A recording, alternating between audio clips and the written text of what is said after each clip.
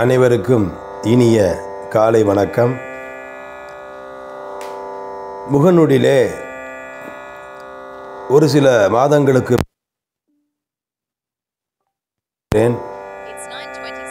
தற்பொழுது அதிக மக்களால் தேடப்படுகின்ற ஒரு சொல்லாக அல்லது வெளியில் தேடப்படுகின்ற நபராக இருப்பவர் யார் என்று சொன்னால் சித்தர்கள். சித்தர்கள் என்பவர் யார்? நம்ப முடியாத ஒரு செயலை செய்பவர்கள் சித்தர்கள் என்ற ஒரு பகுதியினரும். சித்து வேலை செய்பவரை சித்தர்கள் என்றும் ஒரு சார் மக்கள் அழைத்து வருகின்றனர். ஆனால் சித் என்ற சொல்லுக்கு உண்மை என்று பொருள். உண்மையாக இருப்பவர்களுக்கும் உண்மையான வழிபாட்டை மேற்கொள்பவர்களுக்கும் உள்ள தூய்மை உடையவர்களுக்கும் சித்தர்கள் என்ற பெயர் உண்டு. நாம் கேள்விப்பட்ட அளவிலே பதினெட்டு சித்தர்கள் தமிழ்நாடு முழுவதும் அவர்களுடைய ஜீவசமாதிகளை நம்மில் பலர் கண்டும் வணங்கியும் வருகின்றோம். ஆனால் கிபி ஏழாம் நூற்றாண்டிலிருந்து தமிழ் மொழியால் பல அற்புதங்களை நிகழ்த்திய திருஞான சம்பந்தர் திருநாவுக்கரசர் சுந்தரர் மாணிக்கவாசகர் இவர்கள் அருளாளர்கள் என்ற பெயரிலே அழைக்கப்பட்டனர். இந்த நான்கு சைவ சமய குறவர்கள் என்று சொல்லக்கூடிய தலைவர்களும் தம்முடைய செந்தமிழ் பன்னிசை பாடல்களால் பல அற்புதங்களை நிகழ்த்தி இருக்கின்றனர். குறிப்பாக ஞானசம்பந்தரும் நாவுக்கரசரும் சுந்தரரும் இறந்தவர்களை உயிர்ப்பித்திருக்கின்றார்கள். வள்ளுவ பெருந்தகையார் கூற்றம் குதித்தலும் கைகூடும் நோற்றலின் ஆற்றல் தலைப்பட்டவருக்கு என்று ஒரு அற்புதமான குரலை சொல்லுவார். அந்த திருக்குறளுக்கு என்ன பொருள் என்று சொன்னால் நோற்றலின் ஆற்றல் தலைப்பட்டவர்க்கு தவ வலிமையில் தம்மை மேம்படுத்தி கொண்டு வாழ்பவர்களுக்கு மரணம் வெல்லக்கூடியதுதான் என்பதுதான் அந்த திருக்குறளினுடைய ஒரு பொருளாக விளங்குகிறது. கூற்றம் குதித்தலும் கைகூடும். நோற்றலின் ஆற்றல் தலைப்பட்டவருக்கு என்பது அந்த திருக்குறள். இந்த சித்தர்கள் என்ற சொல்லுக்கு முந்தைய இலக்கியங்களிலே நிறைமொழி மாந்தர் என்ற ஒரு சொல் இருக்கிறது. அதையும் வள்ளுவரே தெரிவித்திருக்கின்றார். நிறைமொழி மாந்தர் பெருமை நிலத்து மறைமொழி காட்டிவிடும் என்று சொல்லுவார். மந்திரம் என்ற சொல்லுக்கு பொருள் கூற வந்த தொல்காப்பியரும் நிறைமொழி மாந்தர் ஆணைகள் கிளந்த மறைமொழிதானே மந்திரம் என்ப என்றும் தெரிவித்திருக்கின்றார்.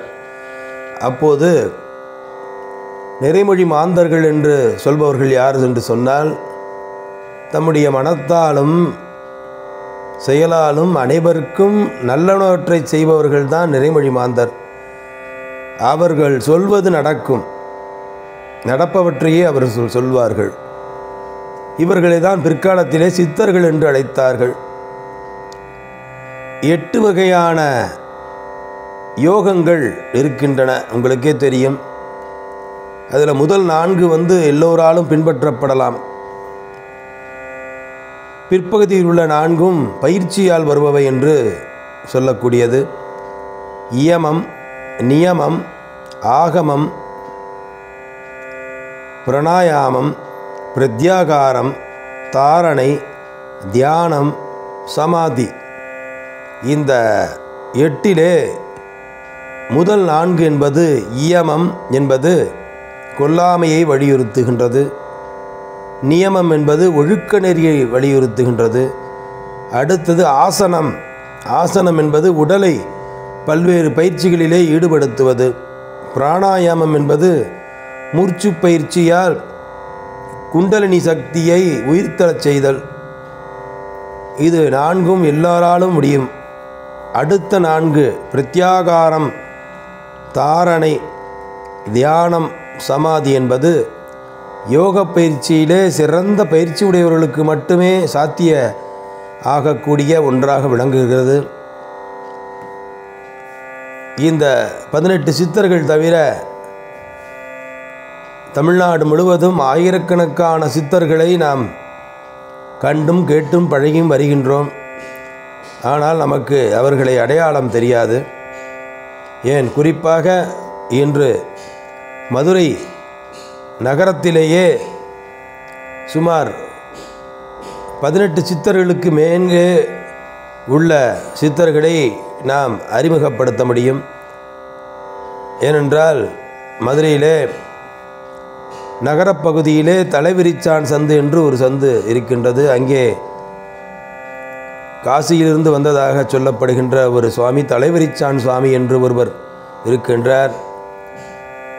அப்படியே சிம்மக்கல் பகுதிக்கு சென்றோம் என்று சொன்னால் வெள்ளையப்ப சுவாமிகள் என்ப ஒரு ஜீவசமாதி உள்ளது.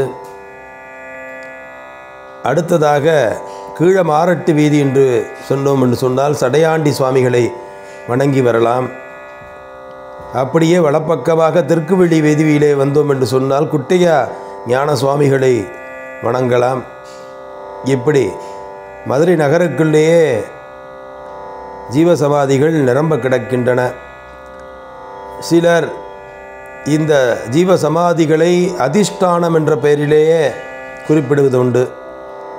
அப்படி பார்த்தேன் என்று சொன்னால் மதுரை நேதாஜி ரோட்டிலே குழந்தை சுவாமிகள் என்று ஒருவருடைய ஜீவசமாதி உள்ளது. காலவாசலிலே குழந்தை ஆனந்த சுவாமிகளுடைய அதிஷ்டானம் விளங்குகிறது. ஆரப்பாளையம் பகுதியிலே தங்கவேல் சுவாமிகளும் மற்றும் ராமலிங்க சுவாமிகளுடைய ஜீவசமாதிகளை கண்டு வணங்கலாம். அப்படியே திருப்பரங்குன்றம் நோக்கி சென்றோம் என்று சொன்னால் அங்கே மௌனகுரு சுவாமிகள் சமாதியை வணங்கலாம். அருகிலேயே மிக புகழ்பெற்ற மாயாண்டி சுவாமிகள் அங்கே ஜீவசமாதியுடன் விளங்குகிறார். அது மட்டுமல்லாது மேலே அவரை புகழ்ந்து பாடிய மாரியப்ப சுவாமிகளும் நடராஜ சுவாமிகளும் விளங்குகிறார்கள். அதற்கு மேலே குன்றிலே நடந்து சென்றோம் என்று சொன்னால் சோமப்ப சுவாமிகள் ஜீவசமாதி அடையலாம். இப்படி நம்முடைய வாழும் காலத்திற்கு முன்னர் வாழ்ந்த அருளாளர்களையும் சித்தர்கள் என்று தான் அழைத்து கொண்டிருக்கின்றோம். இந்த சித்தர்கள் பற்றிய தொடர்ச்சியான பதிவு தொடர்ந்து வர இருக்கின்றது. அவை பற்றி நாம் தொடர்ந்து சிந்திப்போம். திருச்சிற்றம்பலம்